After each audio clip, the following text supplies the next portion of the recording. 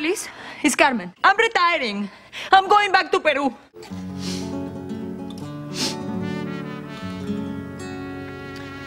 Everywhere I go, they want me. They want to kiss my sweatbands. And where's Samantha?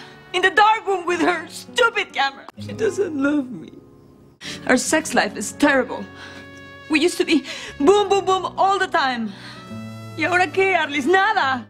She never initiates. Look.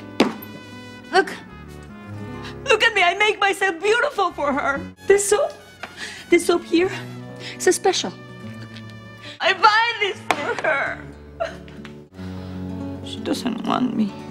I'm eating ice cream until I get so fat that no one can love me.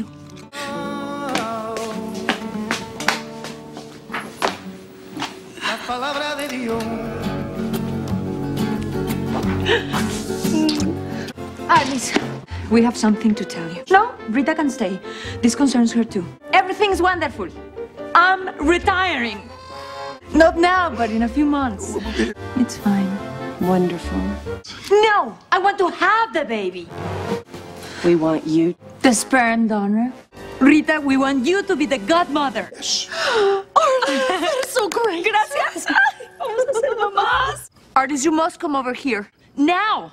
I'm ovulating. Have you chosen a name? Hmm? Yes. I don't want the baby living in the shadow of me. Bottoms up.